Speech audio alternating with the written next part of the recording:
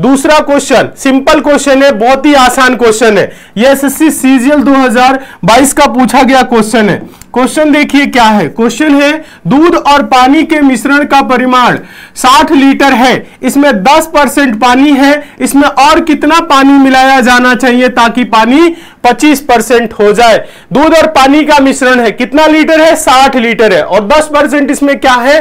पानी है। बोल रहा है कि इसमें कितना और पानी मिला दे कि पानी का जो प्रतिशत है, वो 25 हो जाए। देखिए, बहुत सिंपल है। ऐसे प्रश्नों को सॉल्व करने के लिए बताए हैं। टोटल दूध और पानी का मिश्रण कितना है? 60 लीटर है। इसमें क्या है? 10 परसेंट पानी है। देखिए, यहाँ पे मिलाने की बात क्या करे? पहले कभी भी ऐसे क्वेश्चन है ना मिश्रण वाला तो आपको देखना है क्या करे? इसमें और कितना पानी मिला दिया जाए? क्या मिलाने की बात कर रहा है? पानी। तो यहाँ पे रखेंगे वाटर ठीक है?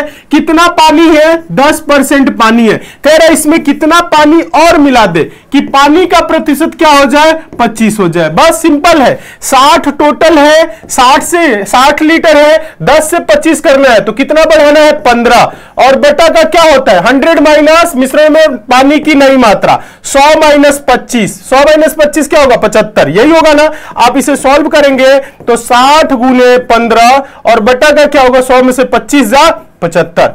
ये देखिए, नीचे क्या लिखते हैं? देखिए, पहले टोटल मिश्रण 10 से 25 करना है तो 15 की वृद्धि हो गई बटा 100 माइनस मिश्रण में पानी की नई मात्रा। नई मात्रा 25 होना चाहिए परसेंट में तो 100 में से 25 घटाएँगे 75 बस इसी को सॉल्व करना है। तो 15 पच्चे 75 और 5 से कटेगा 12 पच्चे 60 मिलाई जाने वाली पानी की मात्रा क्या होगी? 12 लीटर। ऑप्शन नंबर क्या होगा? डी सही होगा। सरकारी नौकरी चाहे कोई भी हो, उसमें 100% सफलता के लिए आज ही डाउनलोड करें SSC Maker app SSC Maker app download करने के लिए डिस्क्रिप्शन बॉक्स में दिए गए लिंक पर क्लिक करें।